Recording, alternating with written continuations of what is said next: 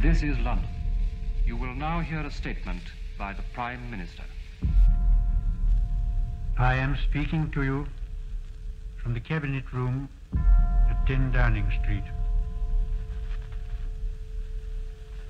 This morning, the British ambassador in Berlin handed the German government a final note. I have to tell you now. This country is at war with Germany. My father asked me if I was truly ready to go to war. He told me that the good soldier kills without thinking of his enemy as a human being. In the moment he sees him as a fellow man, he's no longer a good soldier. And I was a good soldier. God help me.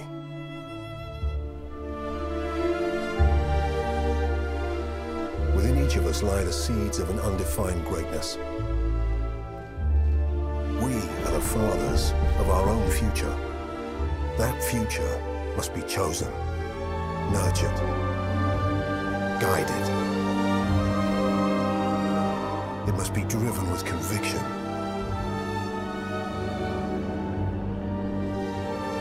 Lest our lesser natures let it stray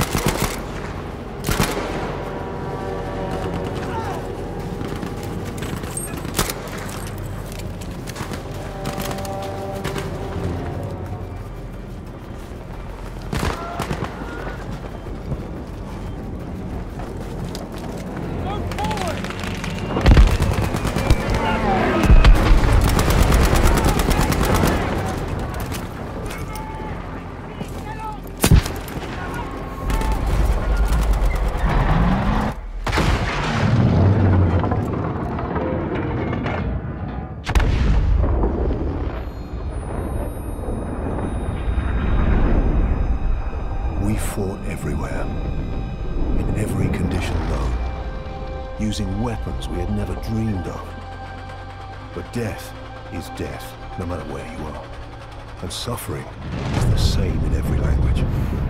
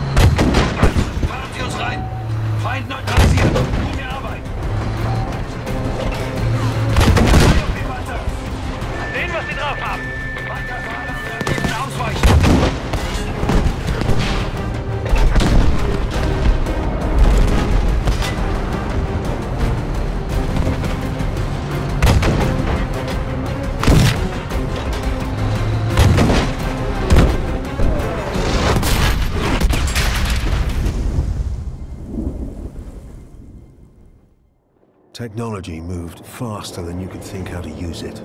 Yours, theirs, it didn't matter. This war would prove that from ocean bed to mountaintop, the greatest killing machine is man. Attention, ils arrivent.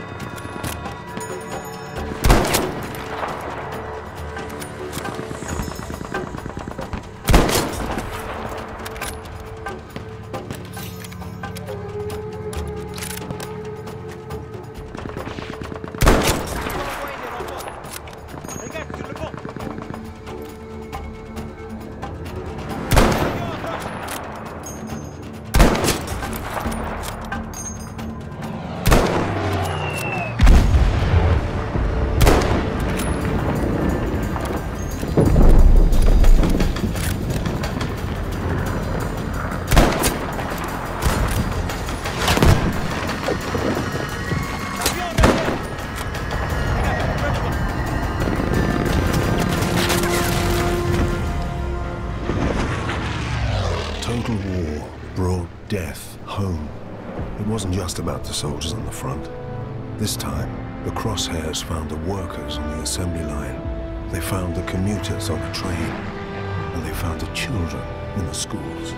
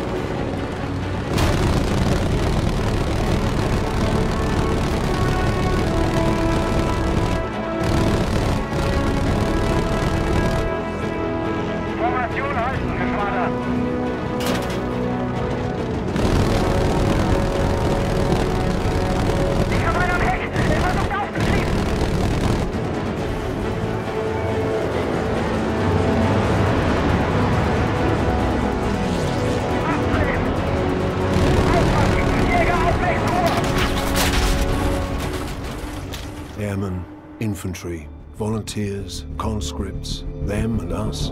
It didn't matter where the danger came from. The threat of death unified everyone. Victory meant staying alive.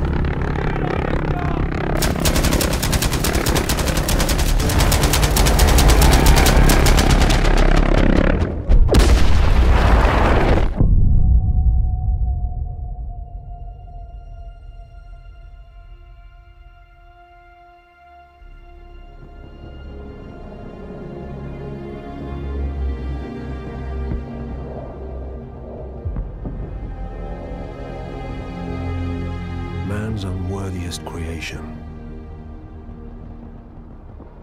What led it back to us? Does a hidden hand guide it?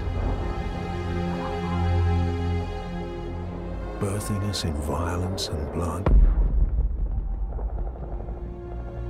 Ending us in fear?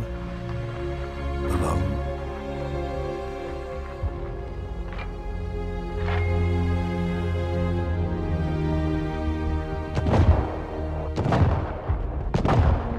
Until you've pulled the trigger on an enemy, you're not ready for war.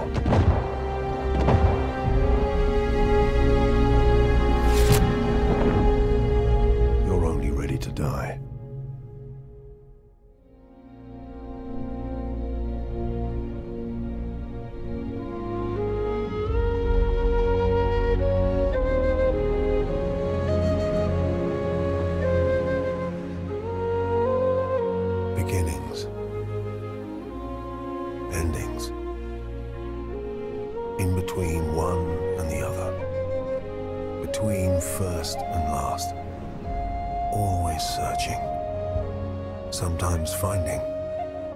Brothers. Sons and daughters. Mothers and fathers. We have no world without them.